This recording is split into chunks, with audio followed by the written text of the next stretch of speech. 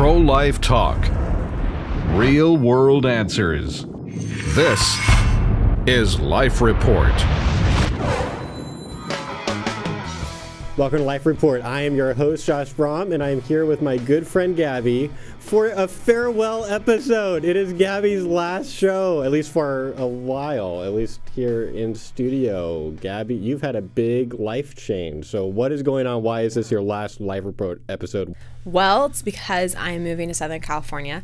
Um, I'm just got accepted into Biola University. So I'll be transferring there to finish up my degree in philosophy. I'm very excited about that. Yeah.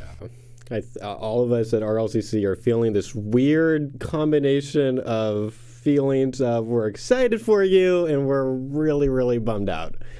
Well, it will mean more help for the pro life movement long term. That's right. That's how I want to use my degree in philosophy is to further the cause of the pro life movement. Yeah, I think it's going to be good. So I was thinking, okay, so what should we do for Gabi's last show? Uh, you know, we should do something special. And so basically, what I did was I asked Gabi to come up with the list of a list of the most important things that she has learned in the last. It's it been a couple of years? How long has it been? been it's been 21 months. 21 About- that's right yeah, 21, 21 months. months. because we thought about this title 21 things in 21 months that you've learned. Yeah so I what are the most important things you've learned working at rlcc um, working with justice for all you've done you've done like five week internships with jfa a lot of time on campus. It's like you know you you've been learning a lot of the, the different things that we you know are making make, they're making they're common themes on life report. The things that are most important to us for people to be talking about not just arguments but um, uh, what are the kind of people that we should be? So Gabi came up with a list and we're just going to talk through what are the most important things to see is learn. So you you told me that you kind of had this over encompassing kind of principle that helps lead to everything else. So why don't you go ahead and talk to us about that? Yeah, this is something that I mean has been a part of my view as a, a pro-life person, individual. Um, even when I was, you know, in high school before I started doing a lot of pro-life work. But Catherine Words at Justice for All has really uh, helped to cement this concept in my mind. And that is that we need to treat all humans as created in the image of God and seek to reflect that back to them. Um, and that colors everything we do and say. If I believe, whether it's you know, the unborn or a, a coworker or um, the, per- the pro choice person I'm talking to on campus, um, if I really truly believe that they're a valuable human being created in the image of God, I'm going to treat them differently. how will you treat them differently what changes Yeah, I think first of all, our entire our entire posture and how we approach things. I think if we if we see this as a this person as as valuable, intrinsically valuable, we're not going to look at them as a means to the end. That helps us like totally relax in the conversation. We can actually listen instead of stressing out and focusing and thinking, okay, I've got to like make this person agree with me or be pro life, or if they're already pro life to take action. We can just enjoy who they are um, and truly listen. Yeah, and I think sometimes we get listening really wrong. I know we've talked about this on the show a lot.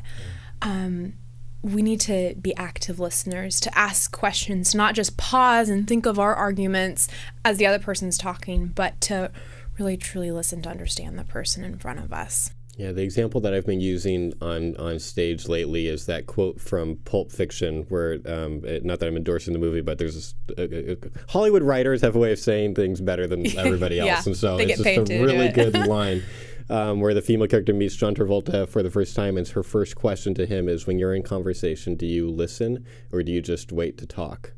Um, and I saw the movie like three times, and that just went completely over my head. I didn't understand what that meant. But then when I saw it in writing, I was like, "Oh, that's amazing!" Because I think we usually just wait to talk. We don't really listen to people and enter that moment with them. So, so, you, so, you, so you've spent time on campus, and you've you, you feel like you've gotten better at being able to.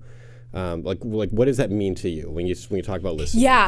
So I think first of all, it means not assuming what the other person thinks, feels, and intends. And this, it's made an impact on campus, definitely. But I can say very confidently that I have become a better listener in a lot of other areas of my life. Um, and an important point to remember is never to assume what the other person thinks, but to just ask. You can totally ask them. Um, instead of just assuming that they think abortion is this wonderful, great thing that needs to be celebrated, just be like, well, hey, what do you think about late term abortion? Or do you think we could agree that if abortion was less common, that would be a good thing? Um, and as we we listen, truly listen, we need to ask questions to to understand the person. That's part of active listening. Um, and something I've come to realize is that there are bad questions. I know this is like this American thing to say, no question is a bad question. No, actually, there are bad questions that you shouldn't ask. Like what? What do you mean? Like like what? Well, questions that are designed to um, puff yourself up or to challenge or humiliate the other person. Challenge questions, or you know, sometimes pro-lifers will make statements like this. Um, oh, you think the unborn is part of the mother? Well, does that mean that if she's a if she's carrying a boy, she has a penis? Um, and it's like, well, of course, that's not what the person means. They may have some confused ideas of the biology, but stating that way is is a very prideful, arrogant thing. You're not listening and trying to better to understand the other person better. Yeah, it's like we want to use zingers sometimes, Mm-hmm. um, because I think a lot of times, especially now, I think like with YouTube, like I've noticed like apologist friends of mine, like a lot of times we sp- like f- it's fun for us to watch public debate videos, right? Um, and, and and and I don't think they're all bad, but sometimes I think eh, we have to understand the difference between a, a- like a formal debate and a and a dialogue. And in dialogue, I just don't think it helps to be using zingers at people or having it's just having that tone of here's I'm going to I'm going to show you with this statement how stupid your view is. Right. Yeah, and, and, and that's not even a genuine question. But I think also, I think there are some questions that are poorly formed that aren't necessarily bad. Like they're- it's not harmful intent. And that's just part of practice. I do debate coaching. And when my students first learn how to do cross examination, very rarely does it come naturally. They ask a lot of questions that um, aren't helpful to them um, or their case. And I think sometimes when you're on campus, you can ask poorly formed questions. That usually just means you haven't had experience or you may be so used to your worldview that you don't know what things look like from the other side. So I think sometimes we can ask questions that are um, very Christian or very spiritual. And while that's appropriate in some contexts, it's not always appropriate on a secular campus if you haven't built rapport with a person. So I think sometimes we can um, say things like, um, if we were talking to a woman about r- abortion in the case of rape, um, we could say something without building rapport on that issue, be like, well, haven't you thought about adoption? And of course, in our minds, we're thinking It's very innocent. a wonderful, loving option for the unborn child. And for a pro life advocate, they're probably also thinking, oh, we're going to save the woman from a second traumatic experience. Um, but to the person who's pro choice, they're like, are you kidding me? Are you kidding me? The woman's just gone through this, and you want to like force her to go through the experience of giving her child up for adoption, which can be very difficult. Yeah. So, yeah. So there's this. There, there, I, I've got this. This. I've had this visual in my head for the last couple of weeks. I think I might write, write, write a blog post about it. About the idea of getting out of echo chambers. Of, mm-hmm. of that thing of like we're constantly around the people that will get- most agree with us, and we're not listening to other people. And and, and and the visual in my head is that scene in The Dark Knight Rises. You know, he's in that really really deep prison, that deep mm-hmm. well, and it's like really hard to get out of it. I think that's what it's like to get out of the echo chamber. It hurts. It's hard to get out of the echo chamber because then suddenly maybe it's not it's not as fun. It's it's way more fun to think that your that your view is the only potentially intelligent one and there couldn't be intelligent pro-choice people and it seems like there's this attitude that you're that you're you're trying to model of assuming that they are actually intelligent too and assuming the the best about them until you prove them otherwise. Is, is that kind of what I hear in some of the I think so. Yeah, you want to assume the best about them, but you also um, you just want to be a good communicator. And depending on your education background, your family background, the kind of work experience you've had, um, you may not be very good naturally at communication, and that's okay. All of us can grow in that. I think we can all grow in um, learning to phrase our questions in a way that will not potentially offend. And sometimes you just have to go out there and fail before you realize what's appropriate, what um, is well received. I mean, I was I was homeschooled, and um, so when I entered the community college atmosphere, I joined. I did homeschool speech and debate, and then in a Christian environment, and then I did debate with the college team. Um, and like academically, I did fine. Um, but there was being around, around all non Christians for the first time in my life, traveling together. I realized that there were ways I phrased things that it, it wasn't my meaning. Right. That was off, but the way I phrased it made it hard for the person I was talking to to listen to me because it just sounded very um, like Christianese almost. It was distracting for them. Like Yeah. suddenly they're spending some of their time just thinking about the, the wording you just used, and now they've got assumptions about where you're coming Yeah. from, and maybe they're connecting that to baggage from other homeschoolers that they've talked to, and it didn't help. Or yeah, just different things like that. And um, So how can we get out of that? I think it's just experience. Honestly, I don't think there's any like here's one tool to get out of that. Um, I think if any there's anything I've learned over the past two years doing pro life work, it's just a personal lesson. Um, stop being so scared to do outreach. Just do it. Um, and, and of course, you don't want to be foolish, but um, th- even when I go out on campus, sometimes there's this like, "Ugh, I don't feel like getting these conversations started. You and Because I are both introverts. I'm not- there's a part of us that does, just doesn't want to do that. Yeah, and I don't know. Sometimes I don't know if it's introversion or if it's just perfectionism. I want to do Hmm. it perfectly, so I don't want to do it until I know it's going to be perfect. And like relationships are just aren't that way. They're messy. And when you do dialogue, you're dealing with a human person, and anything you do with a human person is going to be messy. Yeah. Um, so I think just letting go of perfectionism and just being like, look, you don't have to wait until you have been sitting in church two years to go talk about Jesus. You don't have to wait until you've read every pro life book out there to just ask questions about the issue in dialogue. show that you care about them. There's something that I've noticed that I've had to um, try to figure out what do I think about. In fact, we talked about a Life Report once a, a while back, but it's still something that I'm thinking about. It, the more I talk to pro-choice people, and the more that I read, you know, really good, intelligent pro-choice books, and yes, they, they exist. There's really smart pro-choice people. Um, it be, sometimes I'm talking to people um, who are not dumb, but they just haven't spent that much time researching the issue, right? You know, sometimes they're actually forming their opinion in, in front of you. Um, and I'll have this like I'll hear them say things and I'll be like I could actually help them make a better pro-choice argument and then I'm having th- this de- in, inner debate about whether I should do that. What do you think about that? Yeah. Um, I think this leads to a deeper principle. Um, and that is, well, once again, how humble are you as a person? How much do you care about truth? Um, or do you just care about your pet issue? Because I think we should first and foremost care about truth. And I think truth will lead us to the pro life position. Um, so if you care about truth, um, and you care about this human being standing in front of you, you want them to experience truth. So you want them to be persuaded by the best arguments possible.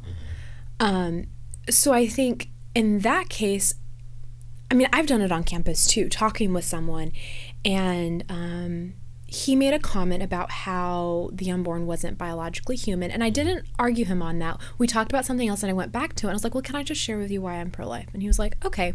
I told him in this conversation that all embryologists agree that the unborn is a um, a living human organism. But I said, but some people argue that the unborn is not valuable like you and me. It doesn't have the same rights and value. It's not a person. And he said, yeah, I think that's what I would argue. Now, the way he said it, it sounded, it wasn't like he truly believed that beforehand he needed someone else to articulate it. It sounded more like he was trying to guard intellectual turf. But that's okay. Like, I think it's fine that I'm feeding him a better argument for him to guard his intellectual turf because I have arguments that are still stronger. Right. Um, and I want him to be persuaded by the best position. There's a there's a you have a, enough confidence to feel like yeah I, I'm I'm okay with him Yeah. um, using something a lot stronger. Um, I- I- it's you and I hung out recently with with uh, our mutual friend Josh Stein, and and there's something that he said that I've, that I've been thinking a lot about, and uh, and and his his comment was he he wants to leave conversations with people about issues like this. Um, the, his kind of first priority is making sure that they understand the issue better, and not just that um, they're pro-choice now or they're pro-life now, but just like, do, do they have a, a, more accurate understanding of truth on this? Like, that's a really, really high value to him, and I think that's that's a high value to us as well. Yeah, and I think ultimately it works in our favor because I don't know about you, but I've talked to people who um, don't think as linear, in a linear fashion mm-hmm. or, are just very confused about the issue, and it's very difficult to persuade them. Um, and I think ultimately, if you're helping someone think more clearly about the issue, if you have a good argument, it's going to be more persuasive. Finding common ground, because this is something that pro-lifers sometimes, uh, well, at least I've I've been around pro-life people that have heard that concept and freaked out. I'll never forget one person who uh, who, who said, "How could we ever find common ground with people who think it's okay to dismember human beings?" What, what do you think yeah. about the, the, the concept of, of finding common ground in conversations with people who, who have a very different view on abortion than us? I, I think the first point to know, and this is kind of a, a pragmatic thing, um, you need to understand the culture you live in. When you go to a foreign country as a businessman, you have to learn how you communicate in that culture. Otherwise, you may lose a really important business deal. Um, same thing with like other organizations and you know NGOs, non-governmental organizations, missions, whatever. So I think we need to understand American culture. Just talking and positing your beliefs out there does not build rapport in our culture. That's just a fact of the American culture. You're not going to communicate well if you don't build rapport into the conversation because we're starting to become a little bit more collective in some ways in the American culture. We like to know that other people agree with us and um, we have like positive feelings between us. Um, so you want to do it to build rapport. And honestly, it, it, it's just not optional if you want to have a nice conversation where both people leave that conversation, um, you know, with more positive feelings, you have to find common ground. Okay. Now, some people would say, I don't care about them leaving feeling good feelings about me. I'm doing my thing. I'm a, you know, abolitionist and I'm doing my thing and they shouldn't have good feelings about abortion. Why should I care if they have good feelings about this conversation? I just want them to leave pro life because it's not just for them to leave the conversation with good feelings. It's first of all, like it's there's an aspect of just being courteous, mm-hmm. um, but I think that it helps them listen to you better. Um, in communication studies, they talk about the difference between a message a message that you may be trying to transmit to your audience and they don't hear it because there's all this other noise and you want to get through the noise of whatever's going on whether it's the fact that they only got a couple hours of sleep last night or they're tired or there's something going on in their life or there's a bird chirping out the window. That's what we have to do when we talk about the issue of abortion. They've got all this noise. Pro-lifers don't care about women um, I don't really like debating about stuff. I don't want to get into a heated debate. That makes me feel uncomfortable. So when you use common ground, you're breaking through the noise so that you they can hear your message. I, I remember, I, I, I think part of the reason that pro life people get frustrated or they kind of react viscerally against the common ground idea is because they think that what we mean is what President Obama means when he says find common ground on abortion. Mm-hmm. You know, when President Obama says let's find common ground on abortion, what he means is let's all agree that abortion should happen less often and do what Planned Parenthood says. Yes.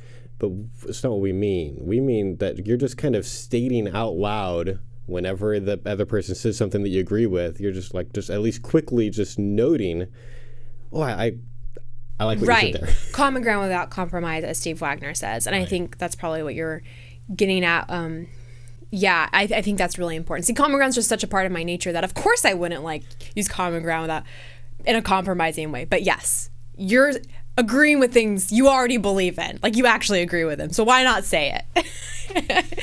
Talk to me about virtue in pro-life work. What does it mean to be to to to be a virtuous pro-life advocate? I think this is really important.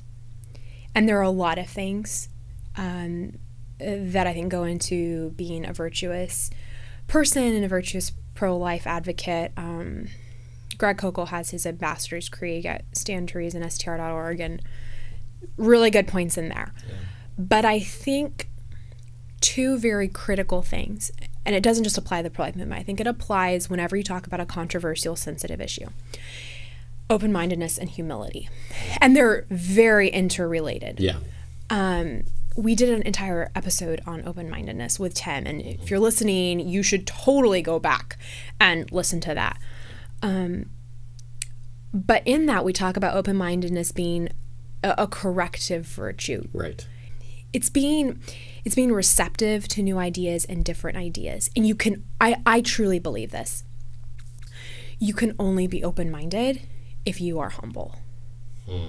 And there are two different types of humility. There's intellectual humility, and I think there's a deeper, um, like a personal humility. Help me understand the difference between those. Yeah. So with intellectual humility, um, I mean, I've seen this among people who are academic, but who aren't very nice people to be around. They're totally fine with you taking their ideas, debating them into the ground. They're like, okay, well, that's fine. Then I'm going to get a different set of ideas. I'm going to go for the strongest argument. But they're not humble people relationally. Mm-hmm. Um, it's it's hard to put into words exactly the difference, but it's something you can almost sense. Mm. Um, you know when you see it. Yeah, yeah. People who are really smart and care about the best argument winning, but who still think they're better than you. You know? Yeah, I've definitely, I've, I've, I've definitely been around that, and I've probably been that. I think I've been that too. Um, I remember when we, I, I think uh, when we've talked about open minded, especially more recently in this last year, it was the first time we really started talking a lot about open mindedness. Um, I think uh, there were a lot of people that reacted against that episode. Um, I remember there's there's one site that had posted it, and there's like 150 comments, and 148 of them were people just like screaming at us. Uh, but I think, so open minded that your brains fall out. oh, gosh, if someone else tells me that, I'm gonna. Okay. Clearly, that's not what we mean. That's not what we mean. It's just a definition issue. They, they think that it means being wishy washy and not having firm views. No, I think you can have a lot of confidence in views, especially after you spend a lot of time thinking about it and doing and doing research. It just means like you've got this, like uh, just a little bit of intellectual self doubt that maybe you have a wrong view about this or some wrong Yeah. views. And I think it stems from both personal and intellectual humility that it is possible for you to be wrong. Once again, I think so much of this goes back to an understanding of who you are as a human being. You're in, you are intrinsically valuable, the person you're talking to is intrinsically valuable, and you're both fallible. What? I know. Yeah. Um, and I think I wrote a couple things down here about open mindedness, and I said that um, remaining open minded is a discipline that requires the will, and practicing open mindedness can lead to a habit of being open minded. It is a habit that requires discipline and willpower. Yeah, it's hard. Yes, just like if you've grown up in a home that has like solves family problems by yelling at each other, if you want to move away from that, it requires discipline of the will to be like, no, I'm going to learn how to talk through my problems. Yeah. You have to be very purposeful about it. Yeah, absolutely. Okay, before we end the episode, talk to me briefly about a few tools for the trade. You had you had a few ideas and some practical things that'll help pro-life advocates to get better. Yeah, so I think if you're young, first of all, go get experience. That is the best thing I could have done was to um, volunteer here at Right to Life, and then I had there was an amazing director at the time, Jonathan Culler, who ended up hiring me. Try to find that, and if you're still in high school and college and they can't pay you, just get the experience. Like it is worth its weight in gold. internship. Yes, do an internship. Um, and I think you definitely want to keep your mind sharp through reading, writing, getting feedback on your ideas. Um, it depends on what kind of pro life your work you want to do. Mm-hmm. If you want to do pregnancy care center counseling, keep your mind sharp in that area. All the different types of counseling theories, compare them, see what works the best. Talk to mm-hmm. other counselors, compare your ideas. If you want to do apologetics, read some of the top work out there, mm-hmm. and don't be afraid to go deeper. If you want to get into epistemology, something like Tim Tim Brahm has talked about, learn some epistemology. Go a little bit deeper instead of just the surface arguments. And the other side too. Read read read Yes. David Boonin and Mary Anne Warren and Michael Tooley and Peter Singer and, and those really smart pro-choice guys too. Yeah, absolutely. Yeah. Um, I think once again, this goes back to humility. You always want to be willing to learn a better way to approach an issue, to respond to an argument, or to mentor someone else, or to do counseling or whatever. Um, constant self improvement. You and that requires being in a community, um, a strong community. You want to be around people you eventually want to be like. So if you're around um, individuals who discourage sharpness of mind or who don't value uh, very clear communication abilities, you're going to end up becoming like them, even though you might go in wanting to change it. If you're the only person who thinks that way, they're just going to affect you. Yeah. Um, so you want to surround yourself, especially as you enter the movement, with clear minds, people who um, are are going to mentor you to be a better person. And I've been so blessed with work with the work that I've done with Justice for All. Um, with Catherine and Steve and Tim, with you, Josh, um, and even just here in the office, different staff members who have taught me different things. That's been huge. It's really shaped me. So being around people that um, are not don't just have sharp minds, but are is a certain kind of person that that yeah. just being around them is like I'm I'm better now because I mm. caught certain things from them, or I'm becoming a little bit more like them. You want to be around people like that. That's part of our humanity. We're an interdependent people. We need that. We don't do well on our own. So that brings us back to your main point. Like in the end, all of this comes down to how how are we going to treat people? How are we going to think about them? If we think of them as an actual image bearer and not just an enemy or an object or a mind to be changed. I mean, I've been talking about uh, my friend Deanna on stage more often, and one of the things that I, every single time I'm making sure the audience understands about my friendship with her is that she's not an object to me. She's not just a mind to be changed so that one day, like a long term project, like I've spent 11 yeah. months talking to her, and one day, if she changes her mind, I really hope she does, then uh, it's going to be this amazing story that I can tell on, you know, it'll be this fantastic, I've heard a plot, it'll be this amazing. That's not what it is. Right. She is valuable in and of herself, and a relationship with her is mm-hmm. valuable. It helps, it, it helps me and it, and it helps her, and we should just be willing to do that and not just see the other person as like it's all just about abortion. No, they're people. Yeah. The unborn aren't the only persons in the equation. The people we're talking to are people too, um, and and sometimes it takes uh, an entire change of paradigm, the way that we think, um, to affect the way that we talk to them. Absolutely. I'm so glad that you've been on Life Report, Gabi. You've just oh, meant so you. much to us. Um, and I think you've really helped our listeners a lot as well. I see all these Facebook comments from people who say, I loved it when Gabi said this, and oh, people just really connected with oh, you. Thank you, guys. So we're excited for you. Okay, that is our show. And if you want to be effective in conversations, remember you can make a great impact. Anytime you're talking to anybody about anything, if you remember to ask good questions, listen to understand, and find genuine common ground when possible. That's our show. Have a great week. You've been watching Life Report Pro Life Talk Real World Answers. Life Report is produced by Right to Life of Central California. Visit their website at fresnoprolife.org.